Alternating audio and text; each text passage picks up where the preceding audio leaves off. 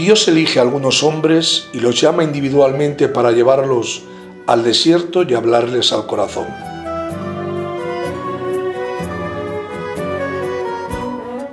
A quienes lo escuchan, los separa y mediante su espíritu los convierte constantemente y acrecienta en ellos el amor para encomendarles una misión. Nace así una alianza de amor en la que Dios se entrega al hombre y el hombre a Dios, alianza que la Escritura compara con los esposales.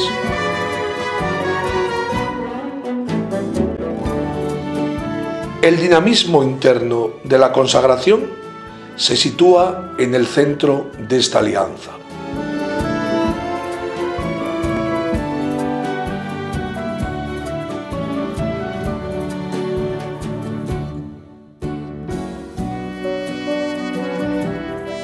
Vemos hecho realidad esto que nos indican nuestras constituciones en nuestros hermanos.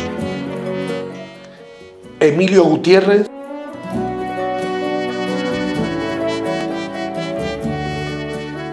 Ignacio Úcar.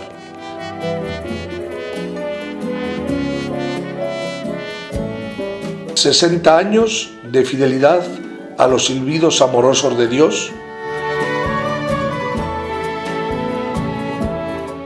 y en los hermanos Ildefonso Alonso.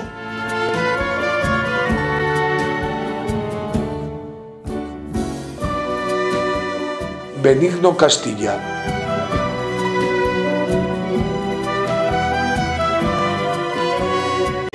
Y Víctor García, 70 años de llamadas y respuestas al amor de Dios.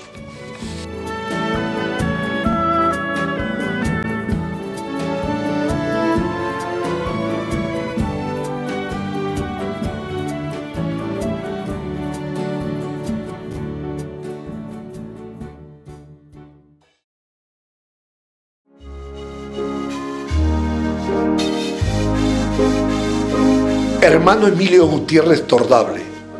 Nace en Lerma, en la provincia de Burgos, aunque por imperativos familiares pronto se trasladan a Calatayud.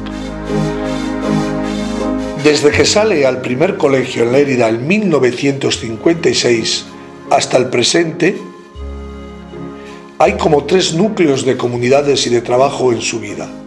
Casas de formación, Ginars, Denia, Guardamar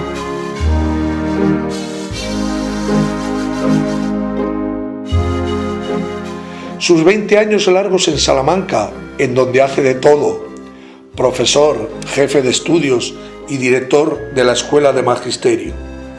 Y un tercer núcleo de estancias relativamente cortas, como será Roma, Cartagena, Cullera, Líbano. En todos los lugares, como él dice, tuvo momentos de todo, pero se le nota que a Ginars le tienen un recuerdo y un afecto especial. Y de personas recuerda a muchas, pero el hermano Inocencio Muñoz está presente en su vida como alguien que le reforzó su autoestima. Tiene claro lo que diría un hermano que comienza su vida marista. No olvides el espíritu de familia. Vive desde Champañá y sé tú mismo. La comunidad no es una fonda, el colegio una fábrica y las actividades pastorales una ocupación. Vive tu compromiso con el Señor. No olvides a la buena madre.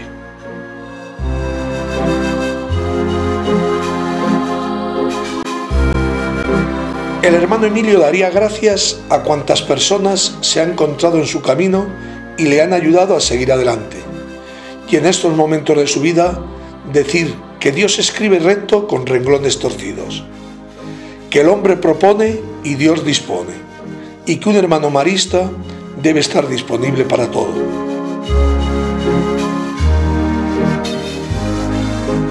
Haciendo un somero recorrido por la biografía de Emilio, uno llega a la conclusión de que tiene delante a un divino impaciente del reino, inquieto, preocupado, perfeccionista por todo lo que hace.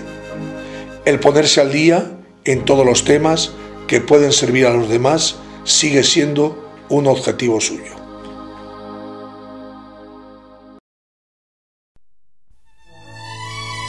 El hermano Ignacio Úcar nace en San Martín de Uns el 1 de febrero de 1936.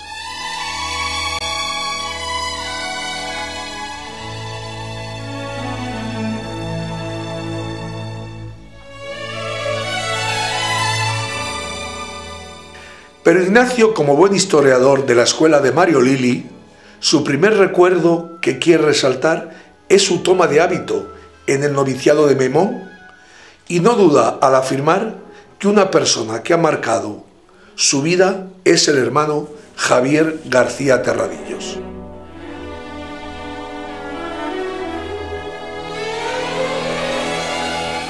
El hermano Ignacio es un hombre sencillo y disponible para todo vamos, un todoterreno. Desde el año 1957, que va a la comunidad de Cartagena, hasta el momento presente, de nuevo en Cartagena, le vemos 20 años de profesor y los otros 30 de diversos oficios, superior, fundador, servicios sociales, atención a los hermanos mayores en Torrente. En Benimámez su pasión son las gitanas, uno cuando escucha los relatos de Ignacio, con estas buenas mujeres, no sabe si Ignacio les enseñó a ellas o ellas le enseñaron a Ignacio.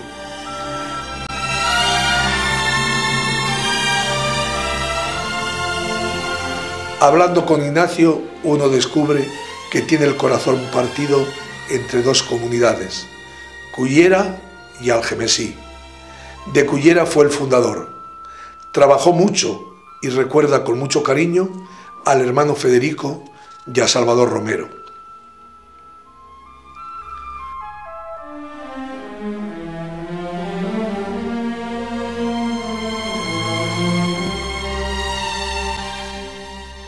A un hermano joven le diría solo una cosa, que sea constante en las adversidades. Ignacio rezuma acción de gracias por todo su ser en estos momentos, gracias a Dios, gracias al hermano Teódulo, al hermano Ángel Sáez, al hermano Antonio Marín, gracias a la congregación y a la provincia.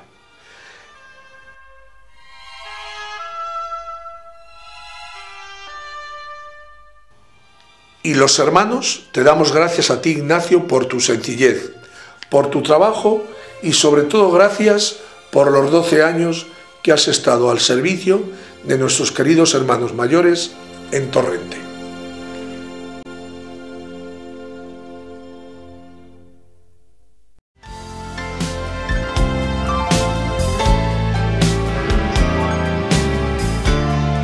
Hermano Ildefonso, una persona sencilla y reservada, dice que para él la fecha más importante en su vida es el día de su nacimiento, en Castañares, provincia de Burgos, el 18 de mayo de 1926, y que recuerda con un gran cariño a sus padres, don Nicolás y doña Lucrecia.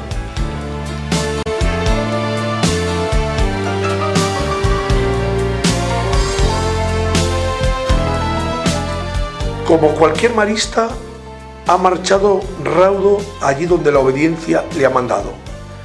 Pero no ha sido de la móvil. Toledo Murcia en diferentes años, Algemesí y ahora Cartagena han sido sus destinos. De todos estos destinos guarda un recuerdo y un afecto especial por Algemesí, por la comunidad y sobre todo por los antiguos alumnos. Los quise y me sentí muy querido por ellos.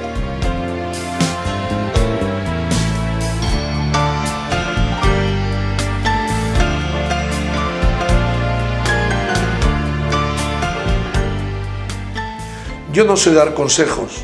Lo único que le diría a un hermano joven sería que lo piense bien y que rece mucho.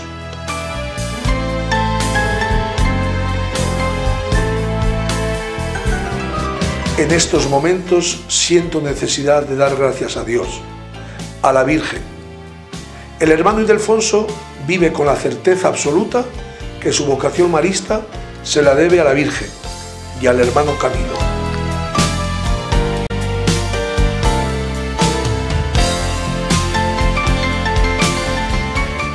Y hoy quiero entonar un canto de acción de gracias a Dios por todos los beneficios recibidos de Él y que me ha permitido llegar con buena salud hasta el momento.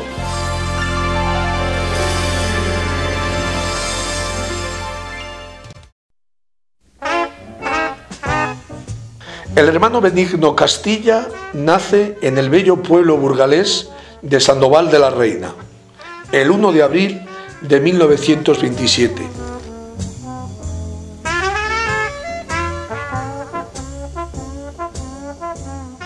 La fecha que recuerda de manera especial es la del 20 de septiembre de 1939, cuando entra en nuestro juniorado de Carrión de los Condes.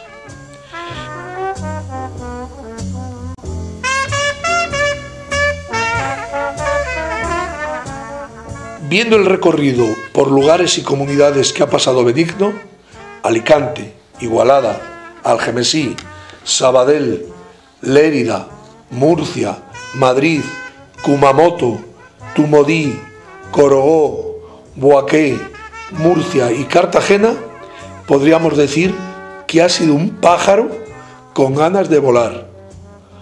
Hoy, en las palabras de nuestro Papa Francisco, diríamos que ha sido un peregrino del reino.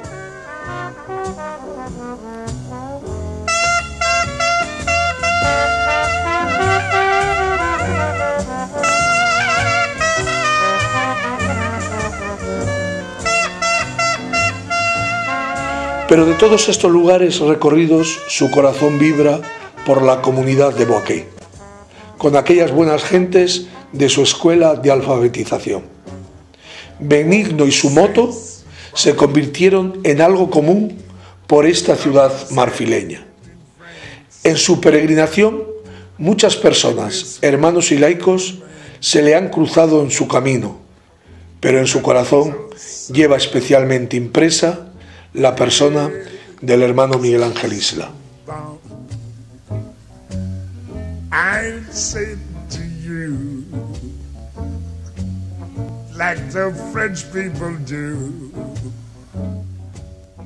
Si tuviera que decir algo a un hermano joven, lo único que le diría es que fuera fiel hasta la muerte.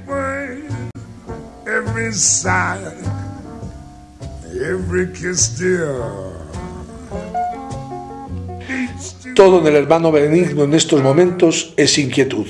Seguir en contacto con los niños, con su acordeón, continuar copiando la Biblia en distintos idiomas, hasta en ruso, bajar a animar a los mayores de la residencia y sobre todo su vida rezuma un canto de acción de gracias a sus padres, a cuantos hermanos han vivido junto a él en las comunidades.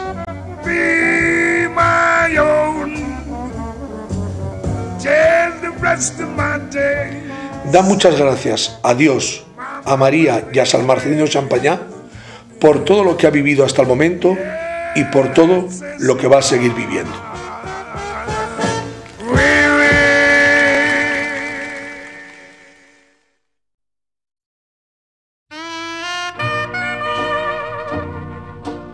El hermano Víctor García Arroyo nace en Fuencaliente de Lucio el 8 de marzo del 1928.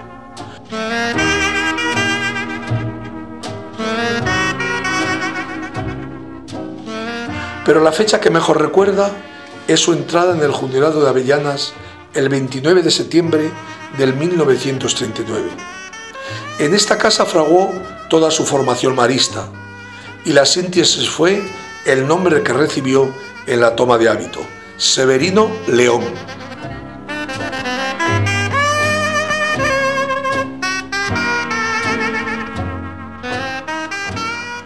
Su periplo en comunidades y responsabilidades es inmenso desde 1945 que llega al Gemesí hasta la actualidad, Cartagena. Han sido 20 comunidades en las que, entre otras, se encuentra Ebibellín, Guinea Ecuatorial. Ha realizado todos los trabajos habidos y por haber. Por sus manos Han pasado todas las responsabilidades, solo le ha faltado ser superior general. Amante del bricolaje y del arte, si hay alguna iglesia del pueblo de los presentes que necesita vidrieras modernas, díganselo al hermano Víctor.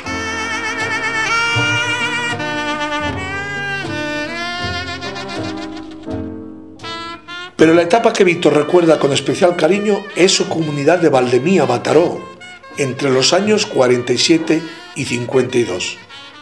Y la persona que dejó una huella especial en su vida fue el hermano Aurelio Linaje, que era el director del colegio.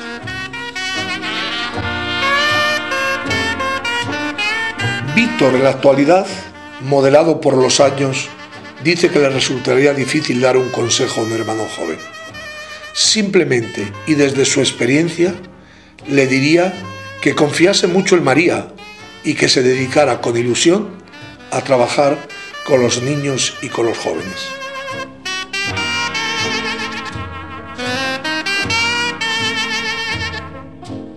En estos momentos, Víctor es un canto de acción de gracias, pero si tuviera que concretarlo más, por exigencias del guion diría, gracias a mis padres, Isidoro y Justa, gracias a María y gracias a Champañá. Y para terminar, pido a Dios y a la Virgen tener la valentía de aceptar mi situación real en estos momentos finales de mi existencia. Tener salud, vivir en paz con las personas y mantener equilibrio emocional. Gracias Víctor por tu testimonio, por tu sencillez, por tu creatividad por todo lo que haces con nuestros hermanos mayores.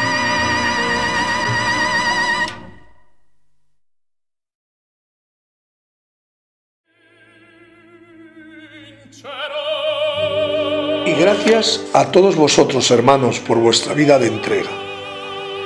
Todos distintos y todos con los mismos destellos maristas, esencialmente María. Que Dios y la Buena Madre os siga bendiciendo en este tramo de vuestras vidas.